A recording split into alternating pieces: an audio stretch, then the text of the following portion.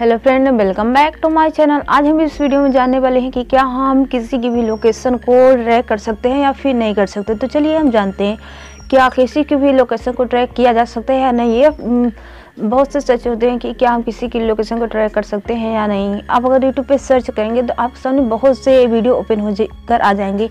लेकिन क्या आपने यह कभी सोचा है कि क्या यह सब वीडियो रियल होती हैं या फिर फेक होती हैं? नहीं ना तो चलिए हम आपको बताते हैं कि क्या यह सब फेक होती हैं या फिर रियल होती हैं।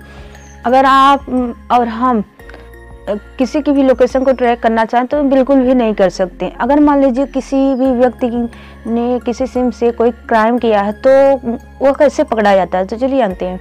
अगर कोई भी व्यक्ति किसी सिम से कोई क्राइम करता है तो पुलिस वाले उसे कैसे पकड़ लेते हैं? मान लीजिए कोई भी जो व्यक्ति क्राइम करता है वो उसके पास एक मोबाइल है। उसके बाद उसने किसी सिम को इंटर किया। मान लीजिए उसने जियो सिम को उस मोबाइल में इंटर किया।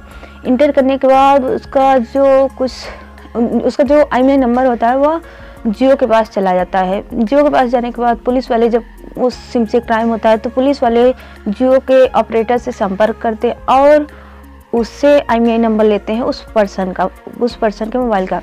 तो आई नंबर जब मिलता है तो वह उस आई नंबर से ही उसे ट्रैक करते हैं।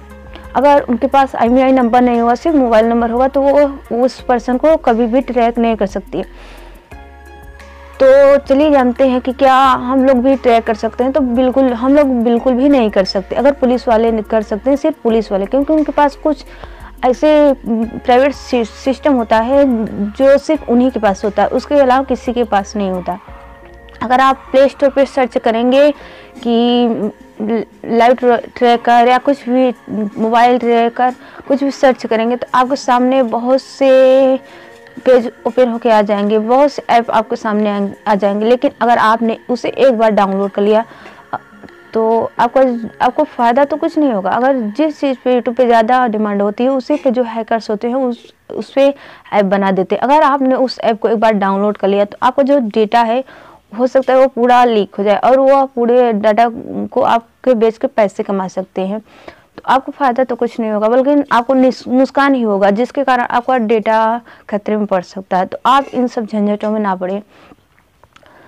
तो फ्रेंड, आपको हमारी जानकारी कैसे लगी? अच्छी लगे तो हमारे चैनल को सब्सक्राइब कीजिए, ताकि आपको ऐसे ही टेक्स रिलेटेड वीडियो मिलती रहे। तो चलिए मिलते हैं अगले वीडियो में। तब तक के लिए धन्यवाद।